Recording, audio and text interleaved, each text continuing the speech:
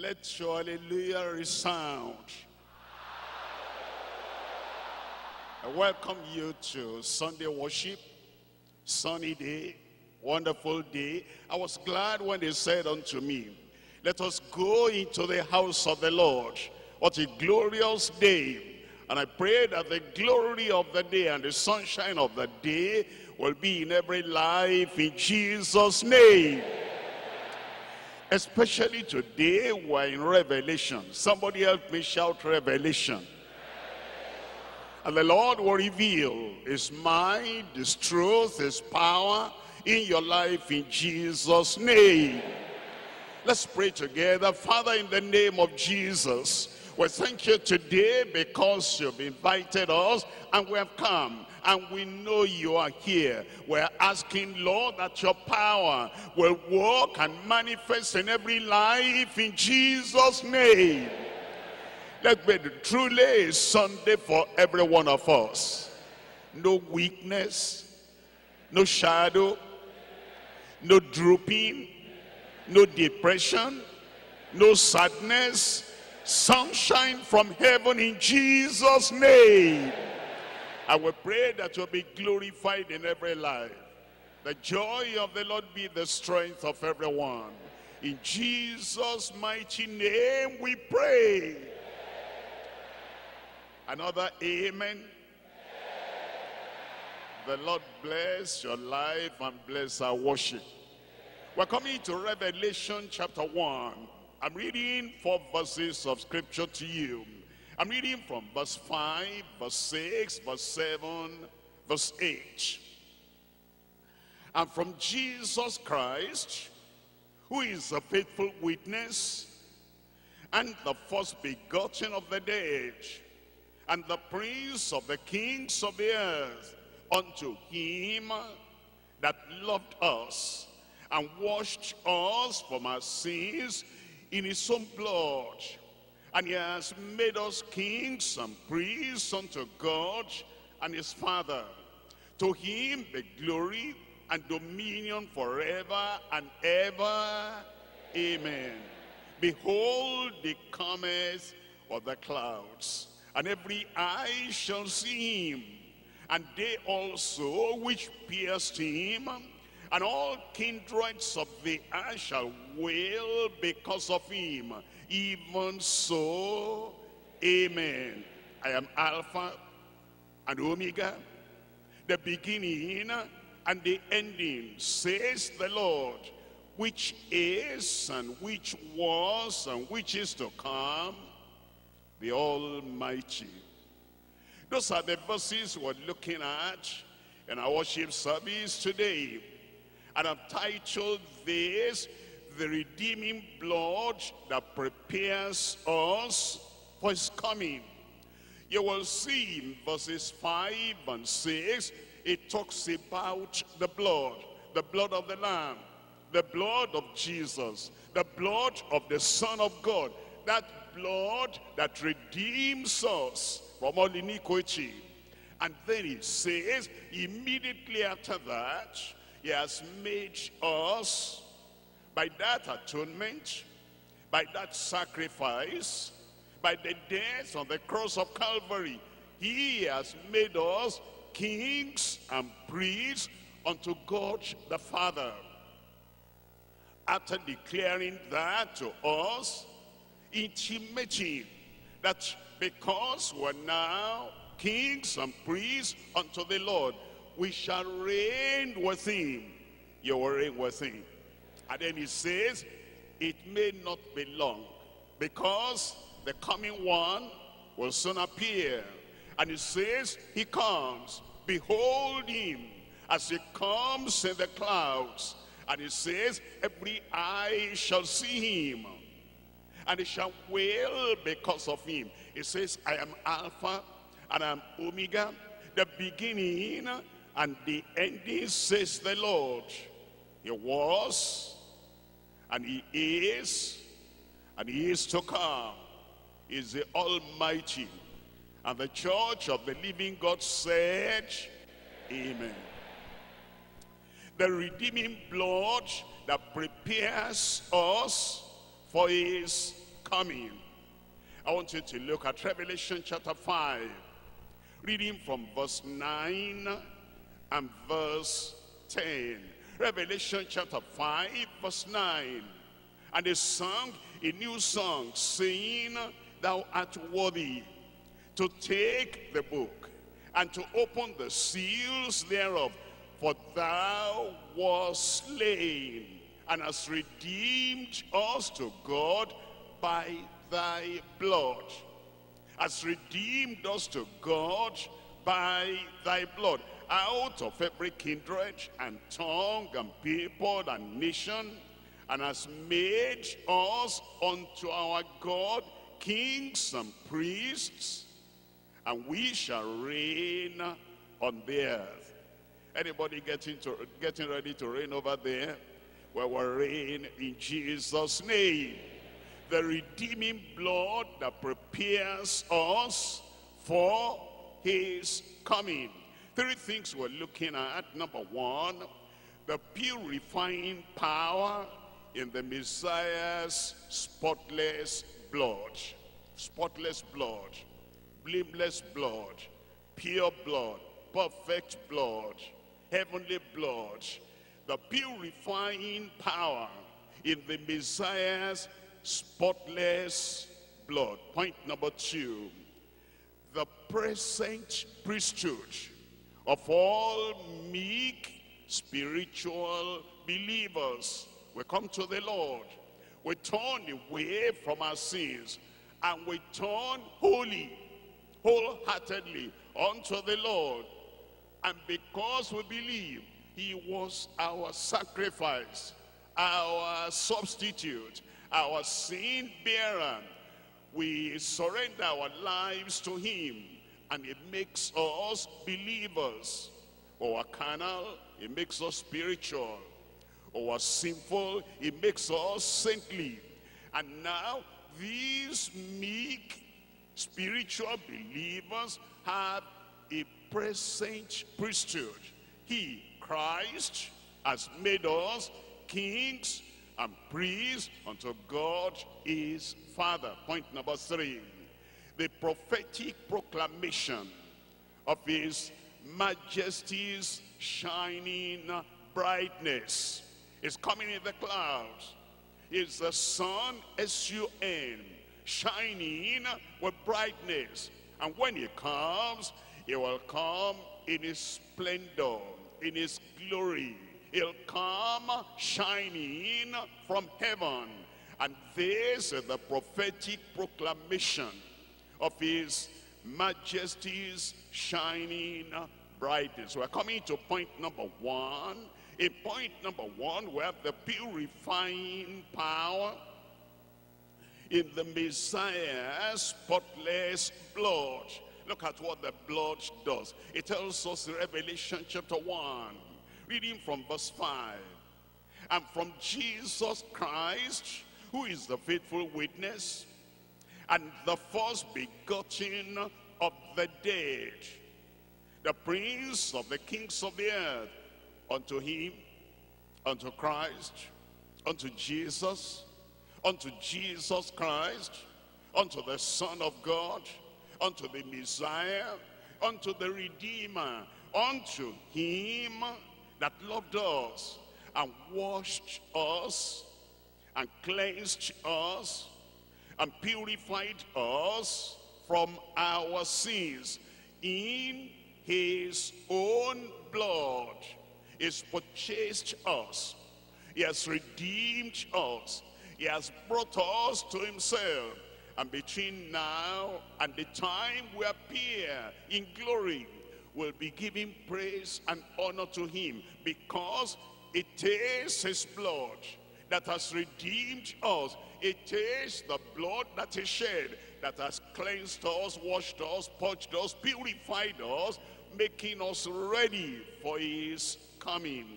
Look at Revelation chapter 7 and you will see that anyone that gets saved, anyone that gets to heaven, it is through that blood from any part of the world and from any generation of humanity, anyone that gets to heaven, is getting to heaven because of the cleansing, the washing in the blood of the Lamb. In Revelation chapter 7 verse 9, after this I beheld, and lo, a great multitude.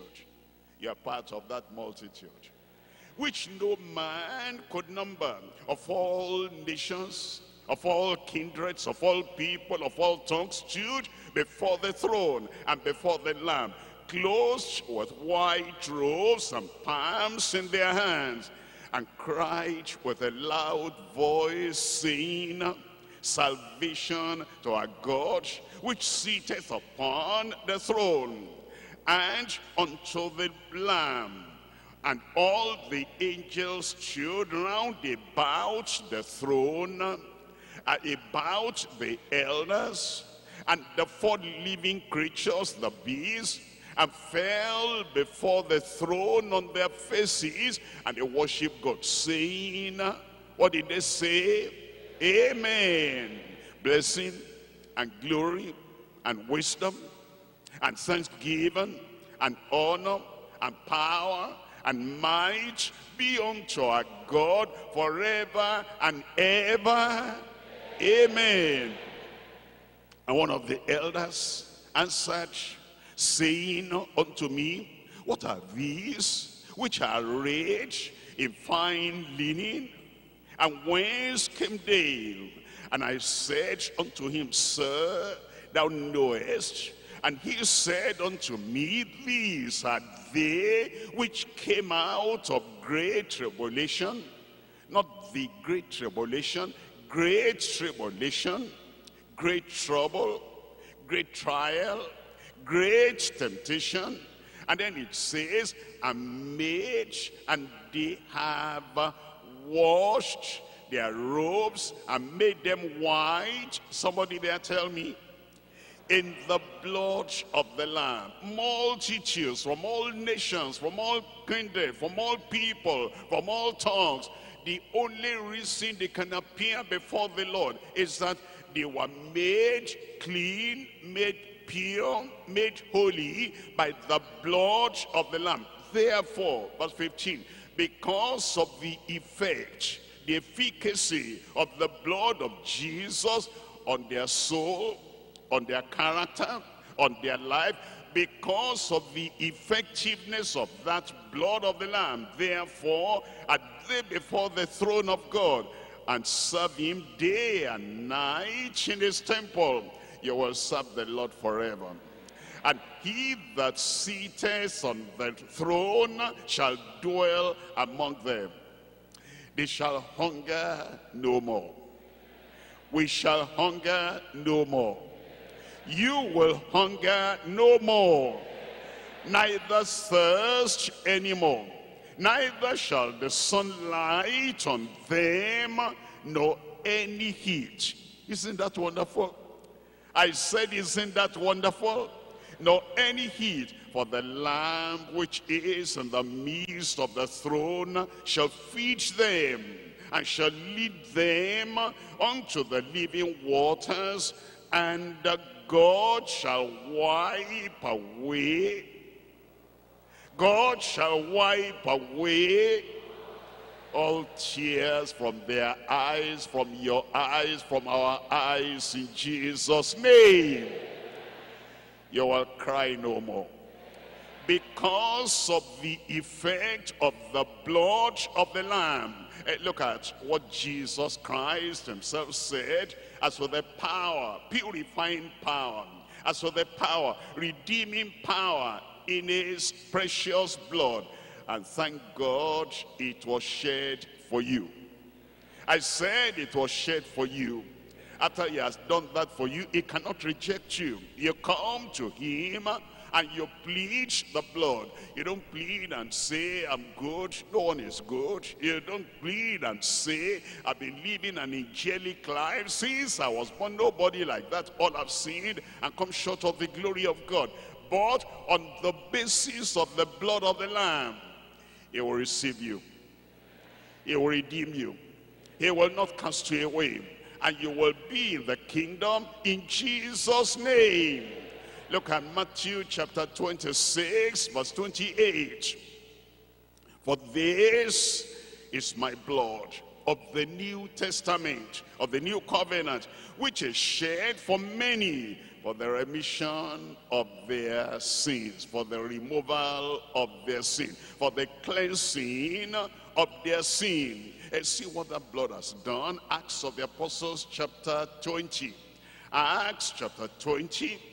And I'm reading from verse 28 the blood of the Lamb, what he's done for us, and what he has done for everyone that comes to him, everyone that believes in him. Acts chapter 20, verse 28, take it therefore unto yourselves and to all the flock, all the flock over the which the Holy Ghost has made you overseers to feed the church, not to browbeat the church, not to oppress the church, not to exercise undue authority over the church, and not to fleece the church, not to take from the church, from members of the church, what rightfully belongs to them. He has made you overseers, pastors, preachers, teachers to feed the church of God. Look at this, which he has purchased with his own blood. He has purchased everyone in the church. I mean the living church. I mean the militant church. I mean the triumphant church not just the church goers, the people who have turned away from their sins and they have believed of the Lord Jesus Christ and they are part of the ecclesia. The people who are called out of the world and called out of sin and they have relied upon the blood that is shed for us on the cross of Calvary. He has purchased everyone like that with his own blood. Forgiveness has come. Redemption has come.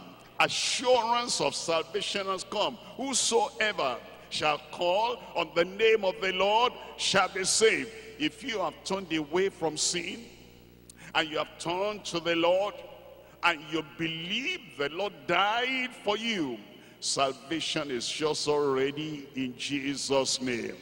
We're looking at Romans chapter 3, verse 23. Romans chapter 3, verse 23. For all have sinned and come short of the glory of God. That's why Jesus came. He knew nobody could qualify for heaven Nobody could qualify for glory. Nobody could reach and touch the glory of God in our strength, in our power, in our self-righteousness. Because all have sinned. All are come short of the glory of God. Being justified freely, thank God salvation is free. Tell the person by your side, salvation is free. It's for everyone. And you cannot say, I didn't get it because I have no money to pay. I didn't get it because I didn't cry enough. I didn't get it because I didn't go to, you know, the Christian school. Salvation is available here and now. It will be yours in Jesus' name. Being justified freely by his grace through the redemption that is in Christ Jesus. Verse 25, whom God has set forth to be a propitiation through faith. Tell me what follows there. Tell me, tell me now. Let your neighbors hear. In his blood. That's why it's giving glory to God that your salvation, you know, your salvation does not depend on how you feel. Some people say, I don't feel saved. I don't think I'm saved. I don't have the right feeling. I feel this way, I feel that way. Salvation is not based on feeling. It is based on faith in his blood. That blood was shed for you. That blood will never fail on your behalf. And if you have not been saved today, as you say, Lord, I take you as my Savior. I turned away from my sin. I believe the blood of Jesus was shed for me. You will be saved in Jesus' name. If you have done that before, but you didn't have assurance, it's because you're looking in the wrong direction. Look at the right direction now and look unto Jesus. Your salvation is confirmed in Jesus' name to be a propitiation through faith in his blood, to declare his righteousness for the remission of sins that are past through the forbearance of God. To declare, I say, at this time, his righteousness, that he might be just and the justifier of him that believeth, that believeth he has believed. He keeps on believing in Jesus. That salvation will not miss you. And you will not miss the salvation. It is yours. Satan cannot take it away from you. The world cannot take it away from you. I am saved. Look at Romans chapter 5. Romans chapter 5 and I'm reading from verse uh, reading from verse 8 Romans chapter 5 verse 8 but God commendeth his love toward us in that while we were yet sinners tell me Christ died for us you know you have some people they've been coming to our job for some time now are you saved now or do you say I'm still trying to be saved. What do you mean? I'm trying to turn over a new leaf. I'm trying to make myself better. I'm trying to do this and do this and do that. You see, I don't want to deceive myself. I am a sinner. And I'm trying to take the sins out one by one. After that, when I've done everything and I've personally taken all the sins away from my life, then I will receive Jesus as my Savior. You don't need him then. If you have already saved yourself, if you have already cleansed yourself, if you're already free from sin, if you have the power, natural power, natural ability to save yourself, why are you go, coming to Christ? Look at that again while we were yet sinners, while we were yet sinners, just as you are, come as you are, Christ died for us. He died for me. I said he died for me. It is not the work of your hand that saves you. It is not turning over a new leaf that saves you. It is not trying by yourself to be righteous that saves you. While we were yet sinners, Christ died for us. Much more than being now justified, being now justified, being now justified. Somebody tell me what follows. By his blood. Praise the Lord. Justified, justified by his blood. It's the blood that Jesus shed that's what gives us salvation. That's what gives us salvation. We shall be saved from wrath through him. No wrath upon the lives of those who are saved. For if when we were enemies, we were reconciled to God by the death of his son, much more being reconciled, we shall be saved by his life.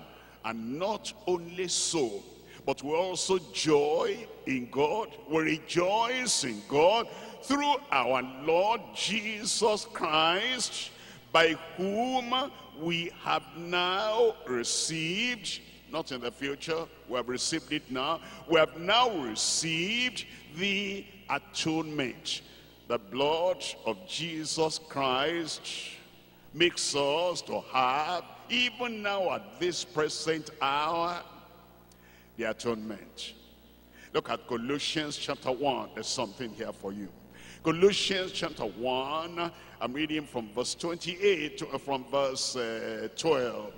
Giving thanks unto the Father, which has made us meet to be partakers of the inheritance in the saints in light, who has delivered us who has delivered us from what? I can't hear my people. Are you delivered? I said, are you delivered? Why? Is it that somebody who says, I am saved, I am sanctified, I am filled with the Holy Ghost, is running about, running here, running there, and we say, we didn't see you the last time when we had worship. He said, you know, Pastor, I went for deliverance somewhere. Deliverance? Deliverance from what? Ah, this one is troubling them. This one is troubling them. All your troubles are over. He has delivered us from the power of darkness. Who is delivered? I said who has been delivered. When Christ has done it, you don't need any other minister trying to deliver you, trying to deliver you. This is the greatest deliverance you can have. If you accept it, it is by the blood of the Lamb. You are delivered in Jesus' name. And he has translated us into the kingdom of his dear son. In whose kingdom are you today? I said, in whose kingdom are you today? He has translated you. He has transported you into the kingdom of his dear son, in whom we have redemption through his blood. Wonderful. Through his blood. Then it says, even forgiveness of sins even forgiveness of sins. When you come to the Lord, through the blood of Jesus, your sins are forgiven. And the devil is a liar. And he's always whispering behind you. You remember your sin? 19 such and such. 19, uh, 20 something, even the sin of your father, the sin of your grandfather, the sin of generation. That's why you are suffering. Satan is a liar. Tell him Satan is a liar. He has forgiven your sin. You will not suffer for those sins anymore in Jesus' name the blood of Jesus is so powerful and the blood of Jesus is so mighty. Thank God he has forgiven you. You claim it, you have it. You'd say it is for me, it is yours in Jesus' name. Look at now, I'm reading to you from Hebrews chapter 13. Hebrews chapter 13 and I'm reading from verse, uh, reading from verse 12. Wherefore Jesus also, that he might sanctify the people with his own blood, suffered without the gate. There are people that, you know, every time we preach about sanctification, they say, well, that's my problem. And that's my desire. I want to be sanctified. I prayed the other time. I thought I was sanctified. As I hear now, I want to pray again and to be sanctified. And I'm saying, uh, how are you sanctified? What makes you sanctified? Well, my feeling, when I feel good, when I feel happy, when I feel joyful, when I feel I'm on the top of the world, I am sanctified. Ah, so it's your feeling that sanctifies you. It's your thinking that sanctifies you. Look at that verse again. It says, Wherefore, Jesus also, that he might sanctify the people. Tell me. With his own blood. It is the blood of Jesus that sanctifies us. I am sad. Am I still sanctified? It's your emotion that is sad. Your soul is sanctified. Your spirit is sanctified. The blood does not change with circumstances. The blood does not change with situations that may happen to you. He suffered without the gate. He suffered for you and thank God your sanctification is guaranteed. Look at verse 20. Now the God of peace that brought again from the dead our Lord Jesus Christ, that great shepherd of the sheep, through the blood, think about that, through the blood of the everlasting covenant, the same efficacy of the blood of Jesus in the time of Peter, the time of Paul, and the time of Mary, and the time of saints and, and the prophets gone by, that same efficacy of the blood is still there today. Is the blood of the everlasting covenant. Make you perfect in every good work. Can you be perfect? I said, can you be perfect? Can your pastor be perfect? Can your wife be perfect? Ah, I can't hear the answer now.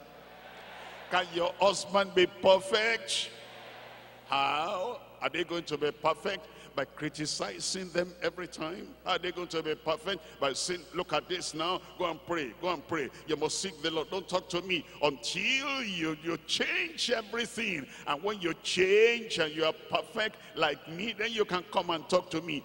What makes us perfect? It is the blood of the everlasting covenant. And that blood will perfect your heart, perfect your soul, perfect your life in Jesus' name. Make you perfect in every good work to do his will. You will do the will of God. Working in you that which is well-pleasing in his sight through Jesus Christ, to whom be glory forever and ever. Looks like there's so many amen If the passages we're reading to you. Something uh, is happening to you today. You turn to the right, there'll be an amen. You turn to the left, there'll be an amen. You go to your place of work, there'll be an amen. The joy of the Lord will never cease in your life in Jesus' name.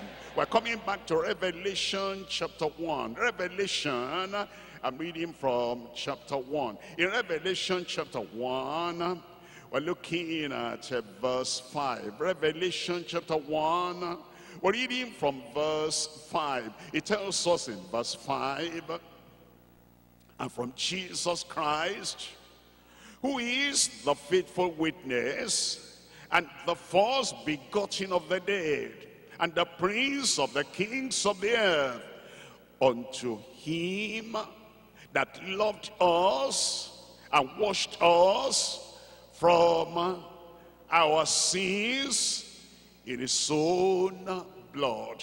Let me summarize this point one for you.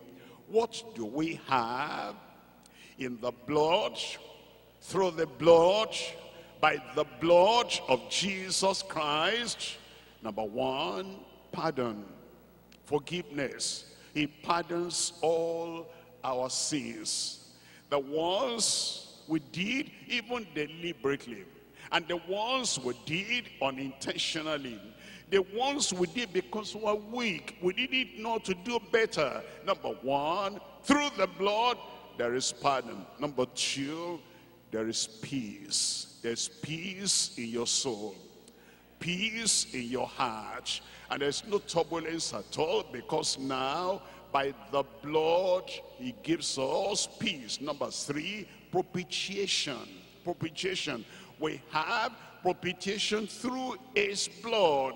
That's Romans chapter 3 uh, from verse 24 to verse 25 where propitiation all your sins are cleansed all your sins are washed away all your sins taken uh, given away number four is passover passover when i see the blood somebody there tell me I will pass over you. Judgment will pass over you. Wrath will pass over you because of the blood. Number five, protection when the blood is upon the lintel of your house, the lintel of your heart, that evil angel passing by and killing the firstborn of Egypt will not touch you. You will not die before your time. I see many years ahead of you. And I see bright, shining future in your life in Jesus' name. How? By the blood of the Lamb. Number, number six is purging. He purges us. He purges us. And then number seven is purity. He purifies us through the blood of the Lamb. Number seven, number eight is power. There is power in the blood wonder working power in the blood. And anything that comes to trouble your life, the wonder working power in the blood of the Lamb, even today, somebody help me shout today. It will cleanse everything and drive everything away in Jesus' name. The powers that pursue you is the blood that will chase them away from your life. Number nine is priesthood. Priesthood. That's Revelation chapter 1 and in verse 6. He has made us kings and priests and it is through the blood. Number 10 is preservation. It will preserve your life. The next time we have a meeting for you here, I will see you here. Stronger, higher, happier, holier in Jesus' name. The revelation of the blood of Jesus that comes to you is supposed to make you stronger. You'll be stronger. Preservation. Number 11, we read in Hebrews chapter 13, is perfection. Somebody help me shout perfection. And then you know, we've read in Revelation chapter 7, paradise. You will be there. Today, Jesus told that thief on the cross, today you will be with me in paradise. When your time comes to go home, you will not be struggling. When your time comes, not today, not today, not even nearby now, after you finish your work, after you have lived a happy life, a successful life, a life that glorifies the Lord. When your time comes, you will go marching in. The Lord will receive you in paradise in Jesus' name. On what grounds? How? Why? Because I feel good. Uh -uh, not your feeling. Through the blood of the Lamb. The Lord loves you. And because of that, he has washed you in his own blood is preparing you for glory, you'll be there. In the blood, there is remission, remission of sin. In the blood, there's regeneration. He renews us. He regenerates us. He turns our lives around. Regeneration. In the blood, there is redemption redemption. He redeems us from the hand of the enemy. In the blood there is righteousness. In the blood there is reconciliation. In the blood there is restoration. In the blood there's the final resurrection. Everything is yours before you go today, get the benefit of the blood of the Lamb. You will never be the same again in Jesus' name. Point number two now, the present priesthood of all meek spiritual believers. The present priesthood of all meek spiritual believers. Let's come to Revelation chapter 1 verse 6 and has made us kings and priests unto God and his Father. To him be glory and dominion forever and ever. Amen. Some people are tired of amen. He doesn't say he's going to make us in the future. He has made us, he has made you already a king and a priest. Look at Revelation chapter 5, reading from verse 9. Revelation chapter 5, verse 9. And they sang a new song saying, Thou art worthy to take the book and to open the seals thereof. For thou wast slain and hast redeemed us to God by thy blood always notice that. Redeemed us to God by thy blood out of every kindred and tongue and people and nation. Verse 10, and has made who? Ah, us. And has made, personalize it. He has made you unto our God, king and priest, and you will reign on the earth. A good, good amen. First Peter chapter 1, First Peter chapter 2. First Peter chapter 2, we're reading from verse 9. But ye are a chosen generation. The Lord chose you. The Lord chose me. The Lord has chosen us. Think about that. You know, some people, every time a little thing happens and they feel not quite happy, they say, God has rejected me. Ah, it's your mind, it's your soul, it's your feeling. It's like you want to get married and you prayed and you chose a sister or you chose a brother and every time a little thing happens, I was to be there. We have appointment. And in five minutes, I wasn't there. I was a little bit late. My husband has rejected me. My wife has rejected me. Is your feeling? Uh, We don't reject people like that on that little thing, that little thing. And God does not reject on that little thing, that little thing. The Lord has chosen you. Somebody there said the Lord has chosen you. And you ought to walk straight with your shoulders covered and looking up, walking like a king's kid. That you know that God has chosen you and Satan cannot come between you and God in Jesus' name. But ye a chosen generation, a royal priesthood, and holy nation, a peculiar people, that ye should show forth the praises of him who has called you out of darkness into his marvelous light. The power of darkness will never overcome you anymore. In Jesus' name. Priests unto the Lord. Priests unto the Lord. We're looking at Psalm 132. Psalm 132. What does he do to the priest that he has chosen? The priest that he has appointed in Psalm 132. We're reading from verse 9. Psalm 132, reading from verse 9. Let thy priests be clothed with righteousness. That's his duty. He chose you to be a priest. He chose you to be a king, a royal priesthood. He will clothe you with righteousness. And let his saints shout for joy. Let his saints shout for joy. You know, priests in the Old Testament were mighty and powerful. And the same thing today, the priests of God. Are the priests of God around today? Where are they? The priests of God, you're powerful. Look at Joshua.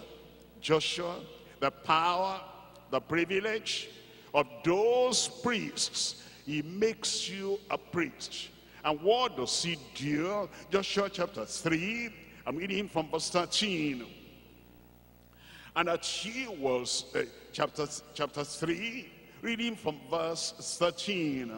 In verse 13, and it shall come to pass, as soon as the soles of the feet of the priest that bear the ark of the Lord, the Lord of, the, of all the earth shall rest in the waters of Jordan, that the waters of Jordan shall be cut off from the waters that come down from above, and they shall stand upon a knee. The Lord wanted to dry River Jordan before them. Moses had gone away, has already gone to his reward. And the rod, nobody is using that same rod of Moses anymore. When God wanted to divide the Red Sea for them, he said, Moses, stretch out your rod. But Moses is not here, his rod is not here. But the priests were there. And he carried the ark, the presence of the Lord. And God said, as soon as their feet touched the waters of Jordan, Jordan will be divided.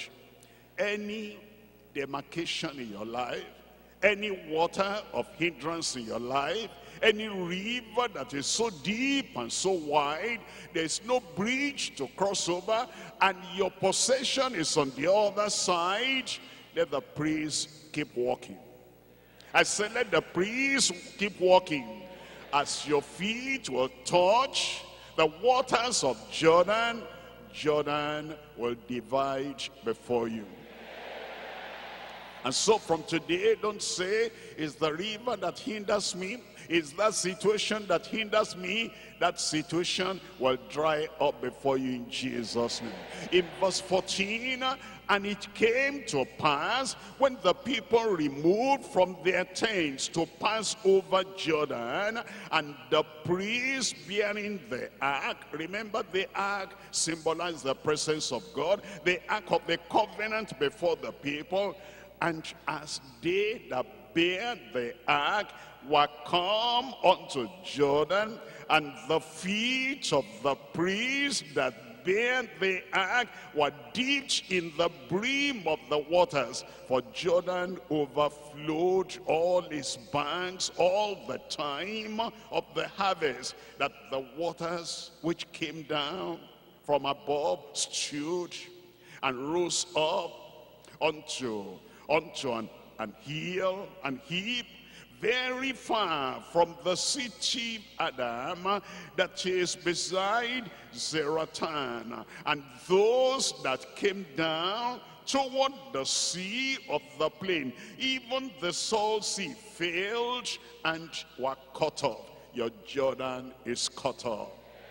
And the people passed over and the people passed over, and our people passed over against Jericho. And the priests that bear the ark of the covenant of the Lord stood firm on dry ground.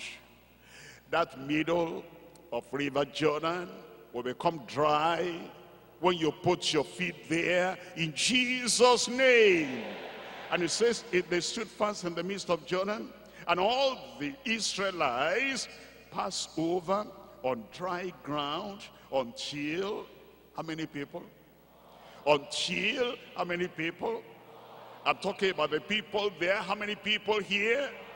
All the people passed over clean over Jordan. Praise the Lord, you are passing over. He has made us kings, number one. He has made us priests, number two. For kings, what does that mean? Look at Ecclesiastes chapter 8. Ecclesiastes chapter 8, and I'm reading from verse 4. Ecclesiastes chapter 8, we're reading from verse 4. This is yours. Look at Ecclesiastes chapter 8, verse 4. Where the word of a king is, there is power. He has made you a king. Speak out the word of power. That mountain will vanish away. Where the word of a king is, there is power. And who may say unto him, What doest thou? You know the revelation the Lord is giving us? The Lord has made us kings and priests unto God. We are accepted. He cannot make us kings and priests if we're not accepted. We are anointed. When kings and priests were appointed those days, they were anointed. You're anointed with the Holy Ghost in Jesus' name. We are appointed to do something. We're appointed to carry the presence of God everywhere we go in Jesus' name. As priests, we stand before God for men. We take the case of man before God. We stand before God for men. And when you pray and you make intercession for anybody in your family, anybody in your local church, anybody in the ministry, God will answer you.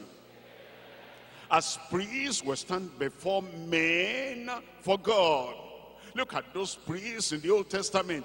They stood before men and they spoke on behalf of God when you go to evangelize, when you go to talk to people, and you want them to be reconciled unto God, you are acting as the priest of God. You're standing before men on behalf of God. As priests, we pray to God with assurance. Anytime a plague broke out and Moses called Aaron, take the censer and go into the people. When the priest got there, the plague will come to a standstill, will stop immediately. As priests, when we pray, we pray with assurance. That plague will leave your family. Untimely death will leave your family. Calamity will leave your family. Suicide spirit will leave your family. We pray to God as priests with assurance we plead with men as ambassadors, as priests of God. We plead with men as, as ambassadors, as kings. We have dominion on earth. You have dominion on earth. Don't be looking for another king to use his authority for you. You have authority. Bring out the word of power and that mountain will move away from your life in Jesus name. As kings we subdue principalities and powers. Every principality in your life what's a principality? The principle of evil powers the principle and once you conquer the principle you conquer all his cohorts they vanish before you in jesus name as kings, we subdue principalities and powers and we bring all enemies under subjection. They will bow. I said they will bow. Somebody shout, bow. They will bow. They will not go home with you no power of darkness, no power of evil will harass your life anymore in Jesus' name. As priests and kings, we have unlimited, unhindered access to God. We can go to God anytime. Here, at home, eh, on the road something is happening you can call upon god anytime you're priest of the lord you have unhindered access to god not only that you have undeniable answers to prayer. You are going to find out that any prayer you pray this in this house of God today, God has answered already. As priests, we have undiminished anointing with power. You didn't say amen to that one? Power in your life. Power in your heart you know, sometimes a little thing happens and your heart is palpitating and your life is doing like this as if your life wants to escape from your body and run away from the trouble. Heart, peace, be still.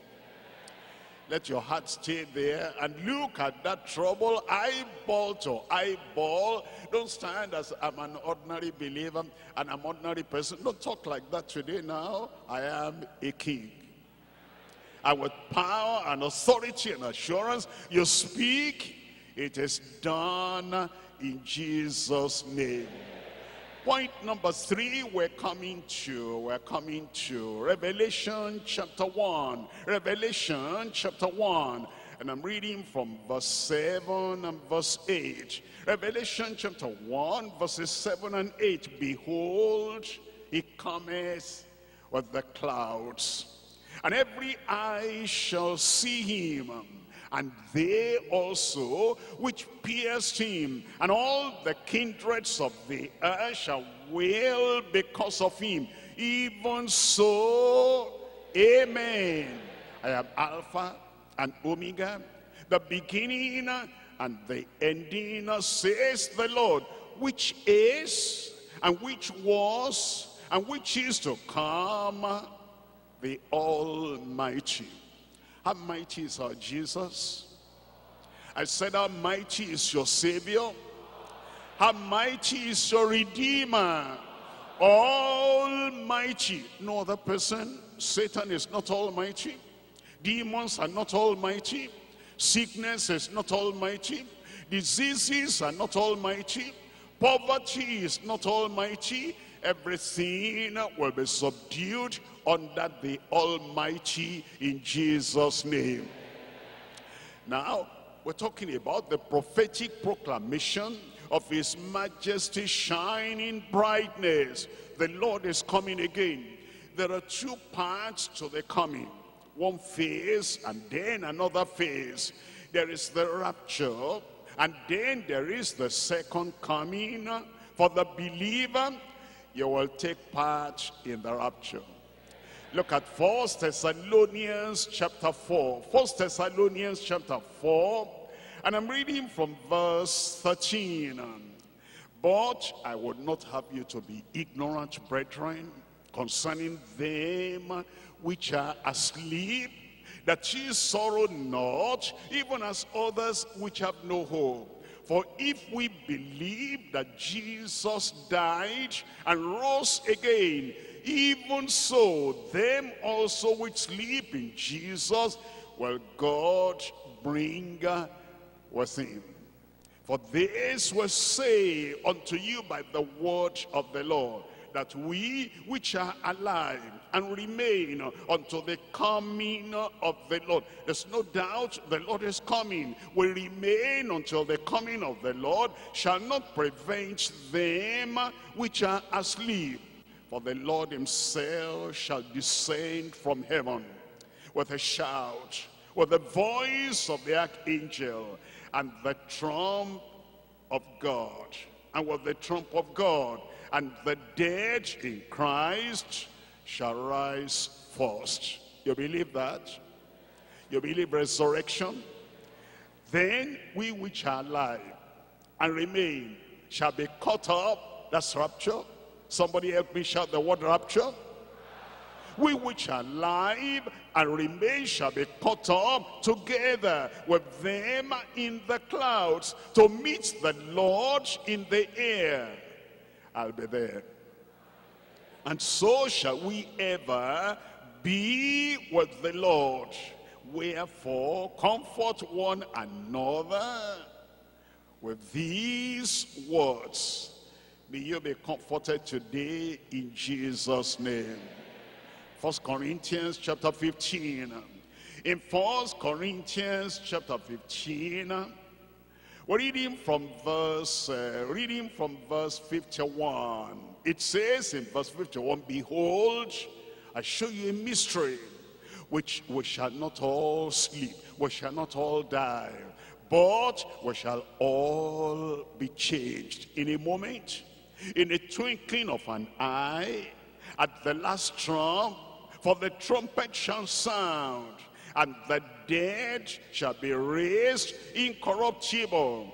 And tell me, if you're going to be there and say it aloud. If you're going to take part in the rapture, say it aloud. And we shall be changed. I pray you'll be there in Jesus' name. Now, there's also the second coming of the Lord. Second coming of the Lord.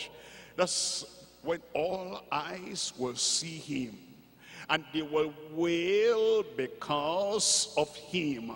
Look at Second Thessalonians chapter 1. Second Thessalonians chapter 1. It tells us in Second Thessalonians chapter 1, and we're reading from verse 7.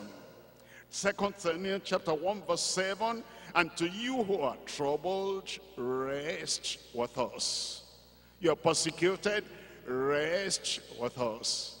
You've been crying, rest with us. You've been under some pressure, rest with us. You will rest. You know, we have to obey the scriptures. If the Lord is telling us, be peaceful, rest, everything is over already, we must say, praise the Lord.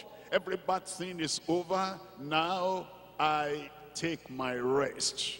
Your rest in Jesus' name. And to you who are troubled,